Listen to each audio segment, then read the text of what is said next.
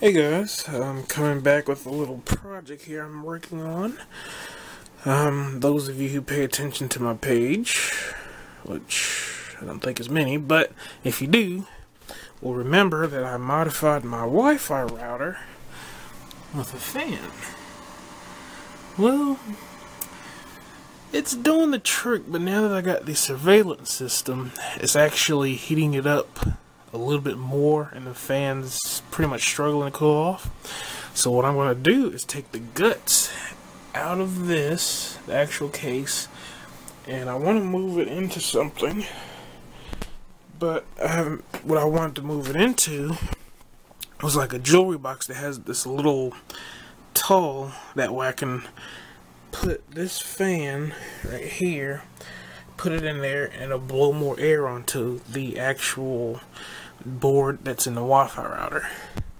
Now, it's getting hard to find somebody who has a wooden box. I don't know why. Any other time I see a box and I don't need it, but now when I need one, can't find one.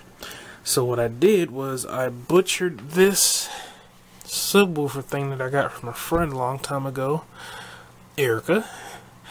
Um, it worked, but the subwoofer didn't work, so I was like, well, I can give the electronics to somebody, they can do something with it, but I can use the shell that it was in, put the Wi-Fi board inside, and mount maybe one, maybe even two fans in there, and that will solve my issue. So I invested in this thermostat here, it's a 12 volt thermostat, and let me show you how it works. Let me stand this fan up here. As you can tell, I am extremely bored and a geek. So, hold on one moment, plug this in here.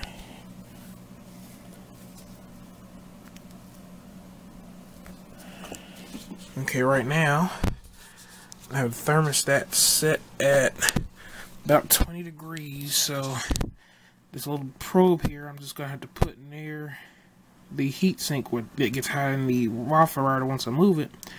And as you can see, once I put my hand on it, the temperature is going to rise.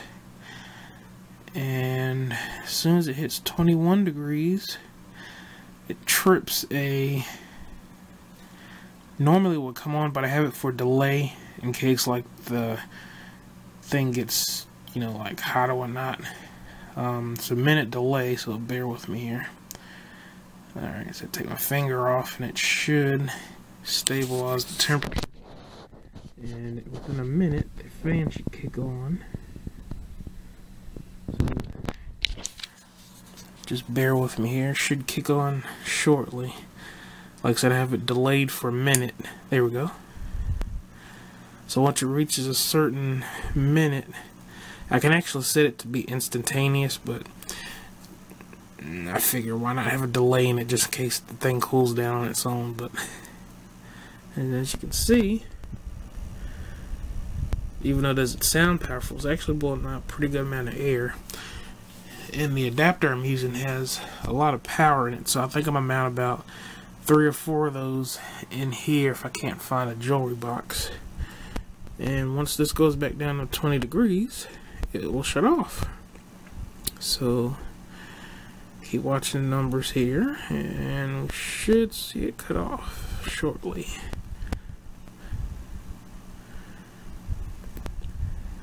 Okay, 22 and once it's 20 it will shut off.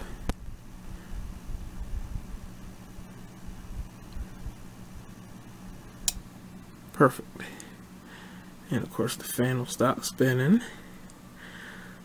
And when the Wi-Fi router gets hot again, to a certain degree, it will turn back on and automatically cool my Wi-Fi router. Like I said, you know, you all know I'm a geek, so I like doing little projects like this.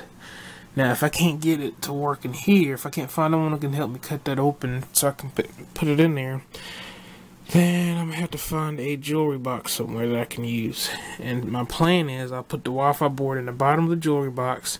I'll cut holes in the top of the jewelry box for the fan. Mount the fan on the actual lid so when I open the lid I can do easy maintenance, you know, cleaning out dust, whatnot. Close the lid and the fan will be blowing on the board. and just keep it clean.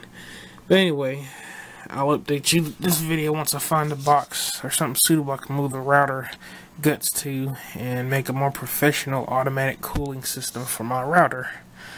I'll keep you updated. Bye-bye now. Alright guys, I'm coming back to you. As you know, I was working on a Wi-Fi air conditioner project. Um, came back and made two more small mods, and this should this is my final revision of this, and now I should have a much cooler router, and hopefully maintenance free. The only things I've changed from the pictures you saw earlier was I added a fan here. I don't know if you can see it. That's the one that was originally on top of here. And originally I was going to put it across that heat sink with the probe on it, but I couldn't find a way to mount it. And then I figured, well, hey, there's a heat sink right there too, so maybe I can get both in one swoop. So that should take care of that. And essentially where the fan is mounted, the air would blow up into both of them, and then out of that fan over here. So it's research and development. And the probe, if you remember from the other pictures, I originally had it. See, I don't know if my camera's going to focus here. Looks like it's not. But anyway, originally had that probe going up this way, but on my first run, which I kind of should have figured, the heat sink actually melted the hot glue, which made the probe fall off. I didn't notice it until I came home today. So instead, I glued I glued the probe onto this metal box over here, which actually goes to, I think that's the, that's for the cable, where the actual cable comes in. And I glued it on there, and it's just basically dangling over the heatsink. So now I don't have to worry about the glue melting off, because obviously the cable box isn't going to get hot. And hopefully the fan should keep things cool in that area anyway. So, that's about it. Um, get everything hooked up here and see how we go from there. I'll be back. Hey gang, just got home. My router was off and it clicked on for a moment. It's doing the job, see? It's doing what I built it to do. It is keeping the router cool automatically. I wish I would have caught it coming on, but let's see. I got it for 30 degrees Celsius and yeah, it's jumping back up. It usually cranks up on 31 degrees. But it took a while for it to get there, but as you can see, it cut itself off. So it's doing what I built it to do. So folks, my idea works. Looks like it's creeping back up there. Let me start my computer up because normally it makes that chip heat up a little bit more. and then you will see it automatically tongue tied automatically come on and cool itself back off. Alright it's creeping up. It's normal because I just turned my computer on so it's making the, the processor and the Wi-Fi board work. As you can see it's creeping up again. And like I said at 30 31 degrees Celsius it'll come back on and automatically cool itself I have two fans, one on the side and one in the front. And I have a little small fan on the inside that's always on. So that's always cool on the board as well. That kind of helps with this keeping itself cool. And shortly it should... It's creeping up now. Um, sorry I have to wait, but this is a, one of those projects I just feel extremely proud of. Because A, no one's ever made something like this, probably other than me. And it's just awesome. Um, come on.